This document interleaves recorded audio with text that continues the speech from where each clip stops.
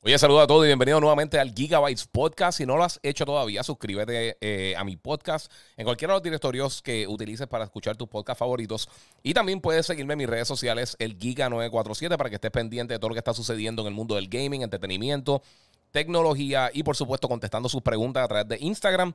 Así que el Gigabytes Podcast comienza ahora. Bueno, saludos mi gente y bienvenido aquí nuevamente al Gigabytes Podcast. Como les mencioné ahora, eh, si no lo has hecho, suscríbete al podcast y también sígueme en mis redes sociales, el Giga947.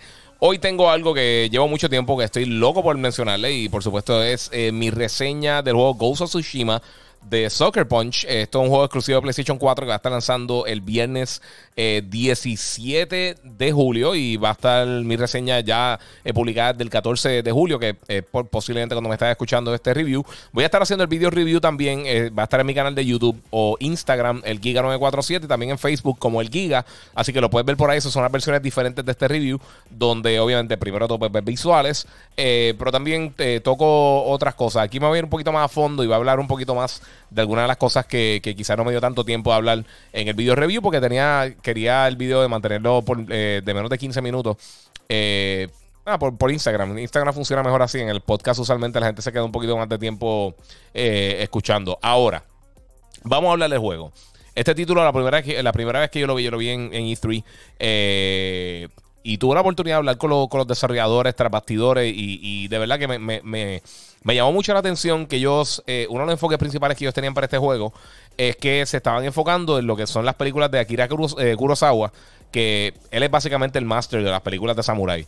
Eh, si no han visto las películas de él, son viejísimas, pero son buenísimas. Se ven Samurai, cosas como, como este, Hidden Castle, y todas esas cosas. creo que no, no, Hidden Fortress, perdón, mira, y que Hidden Castle. Este, pero para que tengan una idea, eh, ellos incluyeron como parte, como un homenaje básicamente las películas de Kurosawa, eh, incluyeron un modo blanco y negro y también incluyeron eh, el, doblaje japonés original sin subtítulos o con subtítulos como tú quieras. Para tener una experiencia más auténtica más parecida a las películas originales de, de, Samurai. el modo está súper cool. en el review mío en video demuestro una porción del juego que, que lo jugué con, con eh, con este modo que es blanco y negro y que tiene como que este eh, eh, granos de, de, la, del filme de, de la película.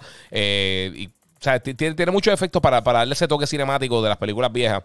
Eh, pero más que nada, sinceramente, y esto lo menciono también en mi review, eh, lo jugué full a color, porque en verdad el juego está precioso. Eh, tiene, tiene unas vistas impresionantes cada vez que tú estás moviéndote alrededor de la isla de Tsushima.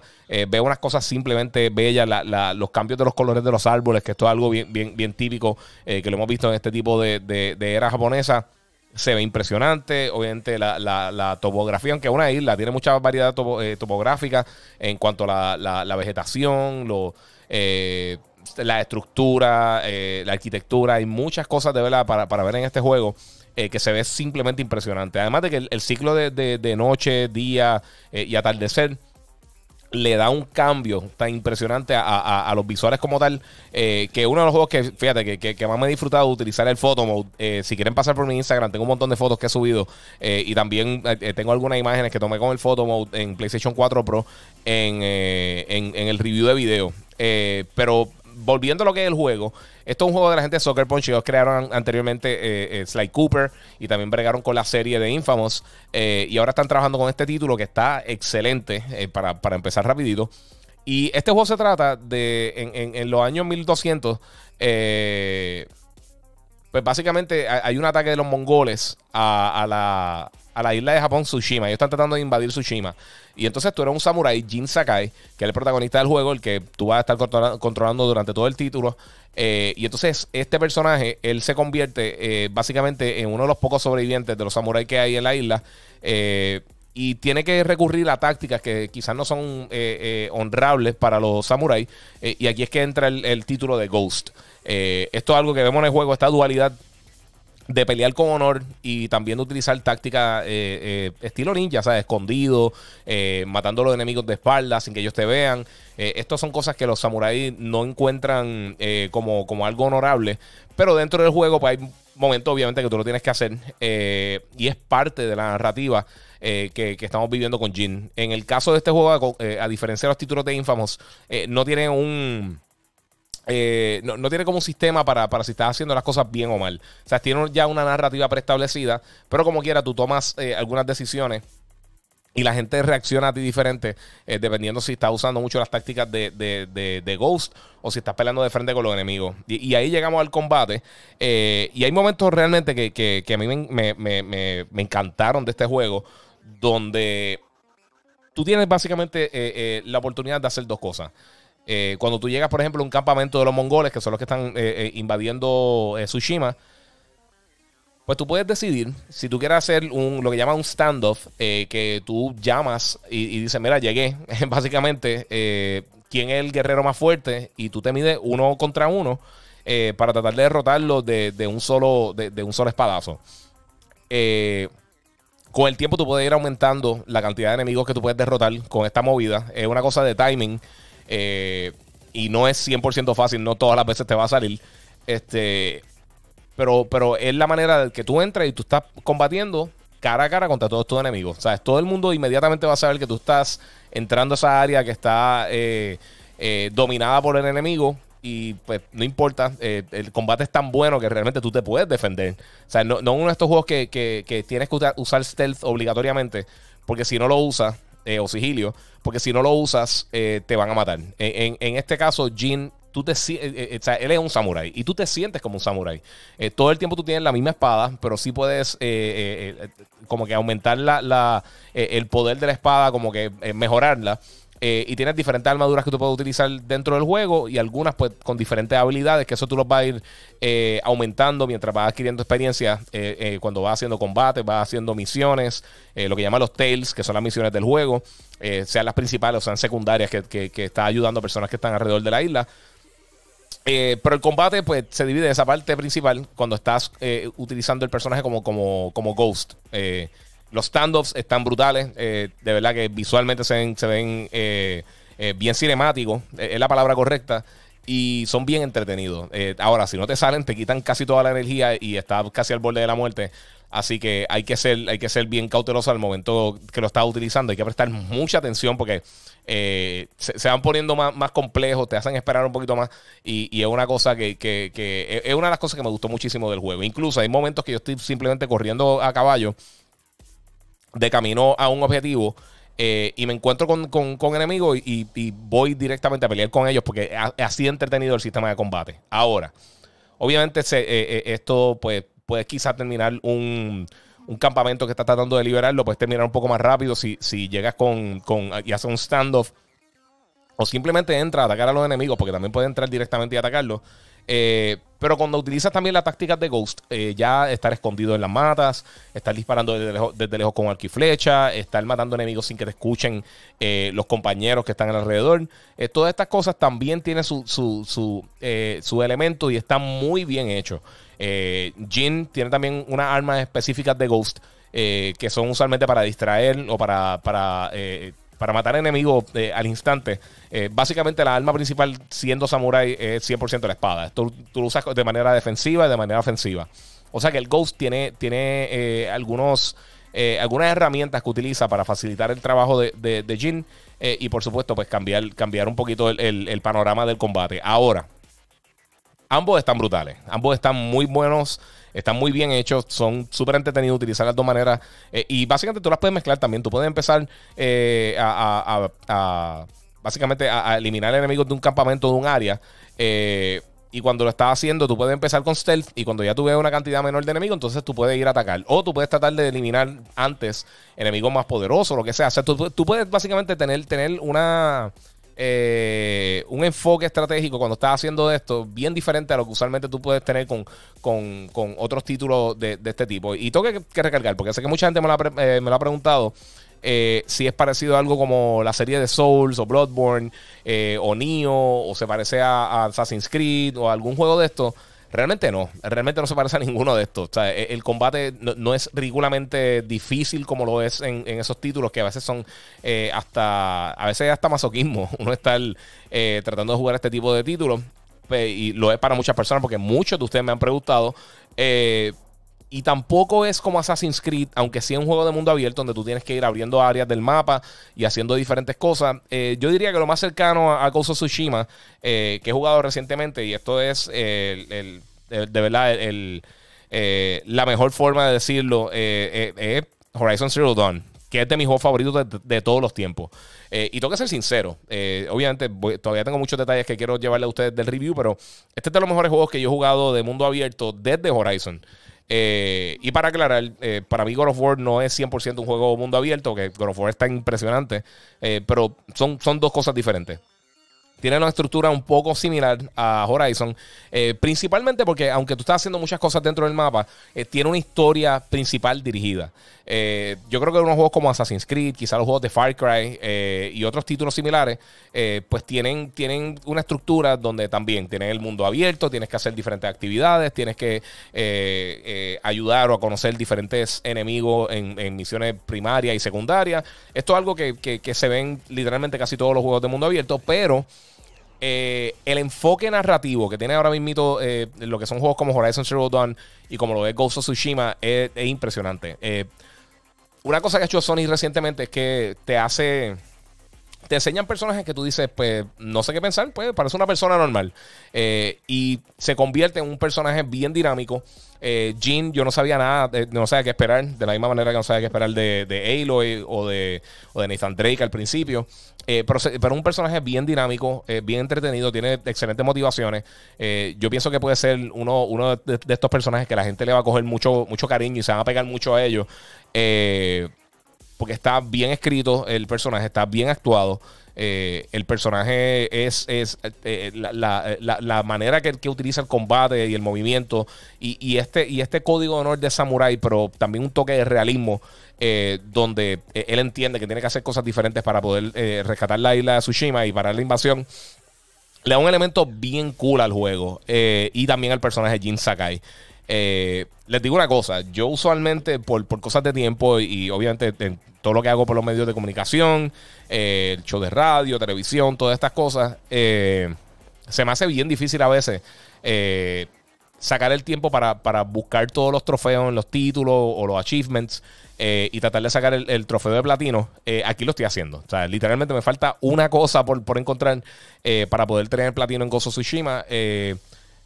Inmediatamente que termine el juego, lo primero que quería hacer era seguir jugando. Y fue lo que hice. O sea, acabé el juego y, ese mismo día, eh, luego de que, lo acabé, eh, me puse a buscar cosas que, había dejado sin terminar, algunas algunos side missions, algunas cosas adicionales, eh, y seguía haciendo cosas. esto es algo que vemos en muchos títulos también que tienen la oportunidad de tú seguir jugando luego del final, pero me gustó mucho. tengo que decir que la, la, narrativa de principio a fin está súper interesante. como les mencioné ahorita, está basado no sé si se lo mencioné ahorita, pero está basado en hechos reales. Eh, pero obviamente toma su libertad creativa para entonces poder hacer una, experiencia bien entretenida para nosotros.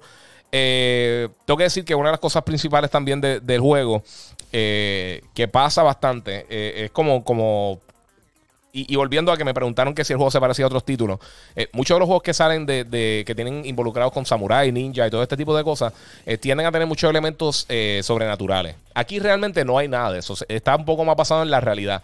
Y yo creo que son un elemento bien interesante, además de que el combate es súper rápido y súper estratégico, pero es fácil de aprender y súper entretenido. además de que visualmente es, algo placentero de ver. O sea, eh, de la manera, fluidez con que se mueve Jin y, de la fluidez como, como se desempeña en, dentro del combate, lo hace algo bien entretenido. Ahora, a donde iba con todo, esta, con todo esto, que sé que me desvío un poco, es que el juego, pues como está en la realidad, pues a veces uno cuando, está peleando con un boss o con un enemigo mucho más poderoso, eh, lo que hacen es que hacen un enemigo un poquito más difícil y ya, o, que da, tiene unos ataques especiales, o que, o que es más fuerte que los enemigos que tú encuentras alrededor del mundo. Aquí hicieron algo bien interesante y es que tú te das cuenta porque tú sientes que, cuando estás peleando con, cuando estás en los duelos, que eh, eso es lo, que, a lo que voy, eh, estos enemigos son están más cerca de, tu habilidad como samurai que otros enemigos que tú peleas, eh, básicamente los soldados que tú te encuentras alrededor del juego. Eh, este momento, que fue lo que, si, no han visto, si han visto el video review mío, yo abro el, video review con, una corta escena, obviamente sin spoilers, de, algo que pasa uno en, los duelos cuando comienza. y se ve súper cool. O sea, son esos momentos que, que, cuando tú lo ves por primera vez, tú dices, por esto es que a mí me gustaría jugar este videojuego. Ghost of Tsushima está impresionante. Tengo que, tengo que decir eh, ya de, de, de, paso, porque el juego está buenísimo. Además de los duelos, eh, que, que, hay algunos que son parte de la narrativa y otros que son eh, misiones secundarias que tú puedes encontrar dentro del juego, lo que llaman los tales, la, la, que son como, como, una, como la, la, la fábula, las historias de cada uno de los personajes pues tú puedes encontrar toda esta, todo esto, todos estos relatos alrededor del juego. Este, además de eso también, como le mencioné, hay unos outposts, hay unos, unas áreas eh, que son como unos campamentos que están obviamente ocupados por los mongoles y tú tienes que tratar de, de, eliminarlo y, y, entonces abrir las áreas. Esto es algo que es bastante común en los juegos de mundo abierto, pero me gusta la manera que lo posicionan y tiene que ver mucho con el combate. Y voy a seguir con el combate porque es uno de los puntos fuertes del juego. Eh, también hay, hay, hay unos templos eh, que tú puedes explorar para, adquirir nuevas cosas. También eh, hay muchas cosas para encontrar alrededor del mundo. Ya hemos visto el zorro, que en algunos momentos pues, pues te, dirige a, diferentes sitios. y entonces tú encuentras también unos baños termales. Hay diferentes cosas que tú vas a encontrar dentro del juego que te ayudan a mejorar la habilidad de Jin. Eh, aquí no tiene poderes especiales ni nada así, pero sí aprende movidas nuevas, sí aprende eh, eh, nuevas tácticas y hay cosas que te ayudan. puede, por ejemplo, hay un momento que, lo vimos, no un spoiler, porque lo vimos en uno de los, de los en, el en el State of Play de cuando mostraron el juego de Gozo Tsushima, donde te puedes bloquear de, las flechas que te, que te disparan los arqueros, que es súper útil, de las cosas más útiles del juego. Este, y, pues va aprendiendo cosas así durante el transcurso del título. Eh, la, isla, aunque está solamente en una isla, es bastante grande, hay mucho espacio para explorar, y hay mucha variedad topográfica, como está mencionando ahorita. Eh, yo tomé muchísimas fotos con el photo mode, fue algo que me encantó. Eh, pero también, además de toda esta actividad y todas estas cosas que, se hacen, yo pienso que, para, ir poco a poco cerrando, porque obviamente no me quiero ir tampoco demasiado largo, Gozo Tsushima presenta muchas cosas que que se sienten frescas eh, dentro de un género que, lo hemos visto muchísimo recientemente. Y, y les voy a explicar. Ahora mismo, eh, hay muchísimos juegos que tú puedes decir a ojos cerrados, mira, pues ok, tiene, tiene un mundo grande, tú puedes explorar cualquier área al orden que tú quieras, eh, tiene, qué sé yo, tiene este tipo de misión y este tipo de misión, y estaría correcto porque la mayoría de, de, de los juegos de este género, pues esa es la estructura que utilizan. En el caso de Ghost, hace todo también desde cómo tú te mueves a caballo por, toda la ciudad, desde la manera que tú, tú escalas diferentes de superficies, eh, el combate, eh, los momentos defensivos, eh, cuando usas las tácticas de Ghost o Sigilio, las misiones que tú tienes que hacer para ayudar a personas que están alrededor tuyo, de la manera que tú aprendas, que tú aprendes nuevas movidas.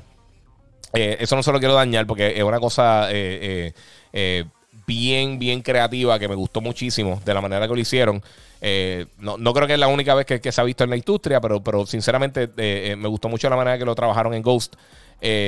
otra cosa que me gustó mucho también es que además de todo esto, los personajes ninguno se siente como simplemente una caricatura, que es un problema que tiene muchos, muchos videojuegos, te saca un poquito del elemento de, realismo eh, y, de ese mundo poniendo personajes que son simplemente caricaturas. Aquí no, aquí todos los personajes tú, entiendes que son personas que o están viviendo en, la isla de Tsushima en este momento clave de, su historia, donde están siendo invadidos por los mongoles o son personajes que, tienen eh, ya eh, algún tipo de agenda eh, o algún tipo de problema personal, sea con, los samuráis o con los mongoles, y, lo hace de una manera bien interesante. hay un grupo de, personajes que, son secundarios, pero yo diría que son, que, son más cercanos a Jin. hay otras misiones que simplemente tú puedes coger alrededor del mapa, que son personajes que podrías decir que son secundarios, pero realmente no son tan importantes para la narrativa como lo son eh, un grupo de personajes que va a encontrar durante el transcurso de, tu, eh, de tu historia o de tu aventura.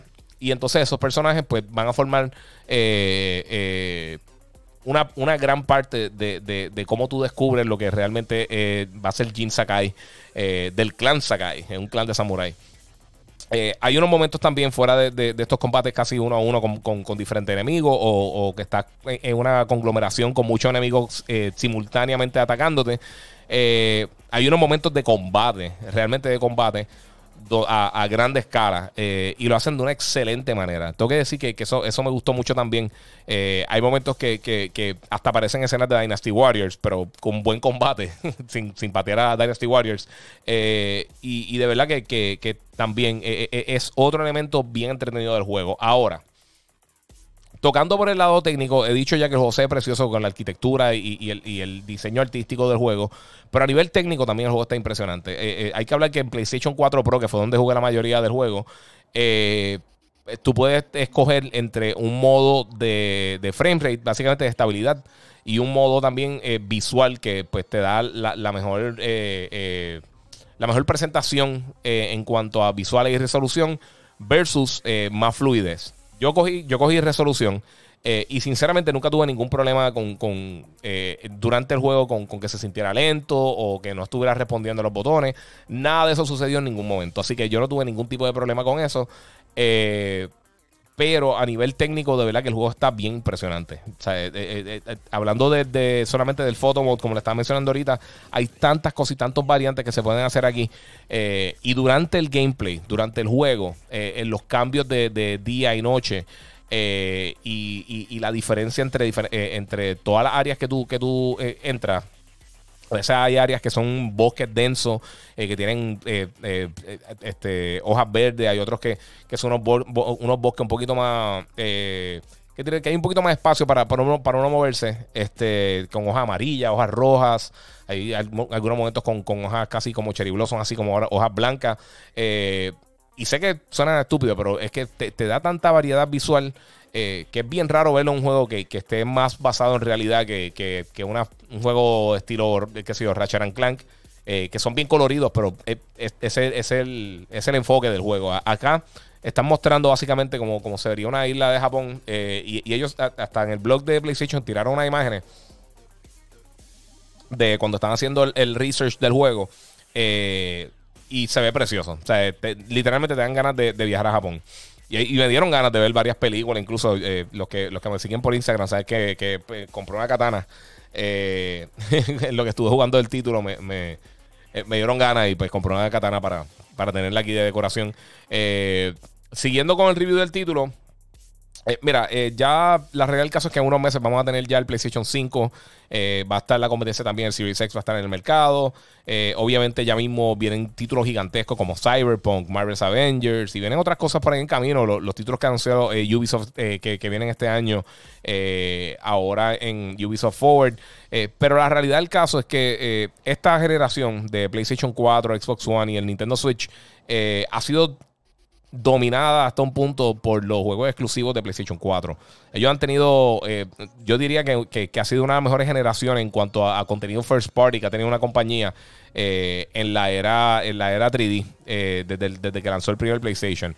Ha tenido un contenido impresionante y sinceramente Gozo Tsushima no defrauda para nada. Tú lo puedes parar al lado de cualquiera de esos títulos de Spider-Man, de, de, God of War, de Uncharted, de Infamous, de, del mismo eh, Horizon Zero Dawn, eh, Bloodborne. Eh, este juego está ahí en ese, en, ese renglón de calidad. De pie a cabeza el juego me encantó. la música está buenísima. Si tú, el audio de este juego también está impresionante desde, cómo suenan las espadas cuando chocan, cuando hay explosiones, cuando hay fuego, cuando hay lluvia, cuando hay viento. que no he tocado el viento todavía, tengo que tocar eso antes de, de arrancar. pero eh, todos estos elementos se unen para eh, eh, formar una. Además de que las voces de, las actuaciones, o sea, las voces de los personajes están excelentes. Es un juego de verdad que, es bien especial. yo desde que lo vi, lo quería jugar. Sí tenía muchas ganas de jugarlo. Estaba, estaba bien contento que el juego iba a estar lanzando eventualmente. Pero voy a ser sincero, yo no esperaba que el juego fuera tan bueno, jamás y nunca. yo cuando había visto el combate se veía tan, tan bonito que yo dije, puede ser demasiado simple o puede ser demasiado complejo. Y realmente yo pienso que Soccer Punch encontró un balance perfecto entre, entre un sistema de combate simple y un sistema de combate eh, difícil, eh, no, difícil, pero, pero eh, robusto, que, que, tiene, que tiene mucha variedad. Eh, tengo que hablar unas cosas también. Ahorita mencioné lo del viento, que eh, estoy, haciéndolo de, memoria. Hay tantas cosas que, suceden en el juego. Eh, lo estoy haciendo bien de corazón, sinceramente, porque me gustó muchísimo.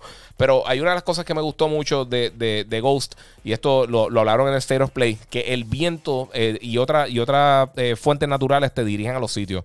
Cuando tú pones un waypoint en el mapa, o sea, un punto donde tú quieres ir, un punto de interés, eh el viento sopla para esa dirección. O sea que mientras tú estás corriendo caballo, estás eh, corriendo eh, a pie, pues tú puedes, tú dices, eh, tengo que correr para la derecha, para la izquierda, para el frente, está detrás de mí el, local o el punto de interés y tú le das para, eh, tú haces un swipe eh, para arriba en, el, en, el, touchpad del, del DualShock eh, y entonces el viento sopla y te da, para, te, da una dirección para donde tú tienes que ir. Otros indicadores que también lo vimos en, el, en, el, en el State of Play, hay unos animales como, como, uno, como unos pájaros amarillos que, que, te dirigen exactamente a donde tienes que ir siempre cuando estés bastante cerca. pues es bueno siempre seguirlos. Cuando tú ves animales que están por ahí, a menos de que sean peligrosos, porque va a haber una. Hay, osos y hay animales bien peligrosos dentro de Tsushima. Pero eh, poco a poco se van a ir moviendo, eh, eh, te van a ir moviendo al área correcta donde tú tienes que ir. O a veces descubres cosas escondidas que están cerca del área donde tú te estás moviendo. Y yo pienso que es una buena. es bueno siempre explorar las diferentes áreas de Tsushima. hay también unos minigames que puedes hacer. Por ejemplo, hay un Bamboo Strike, que es como un entrenamiento con la espada, que está súper cool. Es como una secuencia de botones que tienes que dar en, un tiempo limitado. Eh, eso te ayuda también para, aumentar algunas de las estadísticas de, de Jin. Eh, el menú para, actualizar todo es bastante simple, que eso es algo también que yo sé que mucha gente no le gusta estar bregando con 200 menús diferentes. Eh, aquí los menús están reducidos a, justo lo que necesitas. es bastante, o sea, no, no, es, no, es, que es pequeño, pero es bien fácil de utilizar. No, no tiene 200 cosas innecesarias. en cuanto al combate, dos cosas más que me gustaría decirle al y flecha. obviamente, una alma más importante que hay dentro del juego. te ayuda de las dos maneras. Si estás peleando como, como eh, con, la, con las estrategias de Samurai o con las estrategias de Ghost eh, es bien útil eh, y se utiliza bastante dentro del juego. Yo creo que, es de los juegos que, obviamente, Horizon es todo con, con arco y flecha, pero, principalmente con arco pero en el caso de, de Ghost of Tsushima usé mucho el arco y. Y lo otro que me, que me, que me gustó mucho, mucho, mucho del combate es que hay unos que son, este, tú te puedes parar de diferentes formas. Eh, con la espada. Los, los stands son como las posturas que tú utilizas cuando estás utilizando la espada. Eh, y algunas son mejores para pelear con diferentes tipos de enemigos. Eh, algunos tienen armas largas como las lanzas, otros tienen espada, otros tienen hacha y, armas que son un poquito más fuertes. pues en medio de combate, hace estás peleando con tres tipos de, tres o cuatro tipos de enemigos diferentes. Tú puedes cambiar instantáneamente, simplemente aguantando eh, uno de los botones y escogiendo cuál de, los de, de, eh, de las posturas de combate tú quieres eh, poner. Y entonces justo ahí te cambia y puedes seguir batallando contra todos los enemigos. Es bien fluido, suena complicado, pero es súper fácil hacerlo. y le da un elemento estratégico gigantesco al juego dentro del combate que a mí me encantó. también obviamente lo que son los parries, cuando tú desvías los ataques de los enemigos, eh, si lo haces, si haces lo que llaman un perfect parry, que justo a tiempo cuando tienes que hacerlo, eh, te da la oportunidad de básicamente matar varios enemigos de, de eh, o, por lo menos dar un, dar un, un corte de espada bien preciso, bien peligroso y, que causa mucho daño al enemigo. Así que esas son algunas de las cosas principales que estoy pensando así, que quizás se puedan haber quedado del juego. al final del día, yo sé que mucho, y, he, visto mucho, muchas impresiones eh, positivas de la gente cuando, por ejemplo, cuando puse que, tenía el review ahora para el 14 de, julio. Eh, la mayoría de la gente, no, he escuchado nada, a nadie hablar nada, obviamente la gente no, no, lo ha jugado todavía, pero no he escuchado nada negativo acerca de este título. Y por buena razón, eh, se ve muy bien. Eh, tiene una estética bien diferente a todo lo que hemos visto recientemente. Eh, el combate es bien diferente a, todo a, la mayoría de los títulos que hay similares en el mercado. como lo mencioné ahorita, casi todos estos juegos de Samurai son, se tiran más para el lado de Onimusha, es el Omar Arcade. y más trabajando con poderes mágicos y con, y con cosas que simplemente no son reales. Eh, versus el enfoque que tiene, que tiene Jin, que yo creo que es el primero que sinceramente te hace sentir eh, o te hace ver por lo menos cómo es que pensaban los samuráis, cómo es que eh, peleaban los samuráis, cómo, cómo, era esta era. que, mucha gente yo sé que, le gusta. Así que eh, Gozo Tsushima, para cerrar, está disponible para PlayStation 4, PlayStation 4 Pro. Eh, va a estar ya en el mercado el 17 de julio. Eh, Sony envió una copia de reseña para poder entonces hacerle este review. Obviamente, como siempre, me gustaría que se suscriban, que comenten, que compartan. Eh, si eres de las personas que escuchaste esto luego de que ya recibiste el título, ¿qué te ha parecido el juego? Me, interesa su opinión. Me pueden escribir por Instagram, el Giga947. Voy a estar hablando más adelante con ustedes eh, pero si quieren ver imágenes y quieren ver todas estas cosas, pues lo pueden seguir en mi video review también, eh, que es más cortito que esto, un poquito más condensado, pero entonces te tengo ahí pues los visuales y, puedes tener más, una, mejor idea eh, visual de, de, qué es este título. Además de que no es el mismo audio, yo a mí no me gusta hacer eso, yo le hago cosas individuales para el podcast y para los medios de video. Sé que muchas gracias por estar aquí conmigo, mi gente. se lo recomiendo 100%. El juego me encantó. Eh, les digo, desde, Horizon no me he disfrutado un juego de mundo abierto tanto. Eh, así que eh, el juego está excelente de pie a cabeza. Es otro de estos juegos que sinceramente no le puedo encontrar una falla. Y, me encantó. Estoy ahora mismo loco que, que anuncien, obviamente se va a tardar, pero que anuncien algún tipo de secuela o otra parte de, Gozo Tsushima que lo tiren para PlayStation 5, porque si se ve impresionante PlayStation 4 y, y es un juego con tanta y tanta cosa que de por sí el, fast travel es rapidísimo. Es de los más rápidos que yo he visto en un juego de mundo abierto. Eh, pues eh, aprovechando la próxima generación sería buenísimo. Así que Soccer Punch, eh, cuando quieran empezar a trabajar en el otro, escójanse su descanso, pero sinceramente me encantaría verlo. se lo recomiendo, como les dije, 100%. Un excelente título, vale la pena comprárselo y jugarlo inmediatamente. Eh nada, no tengo más nada que decir. Sinceramente, me encantó. Gozo Tsushima, un excelente título. Disponible el 17 de julio en PlayStation 4 y en PlayStation 4 Pro.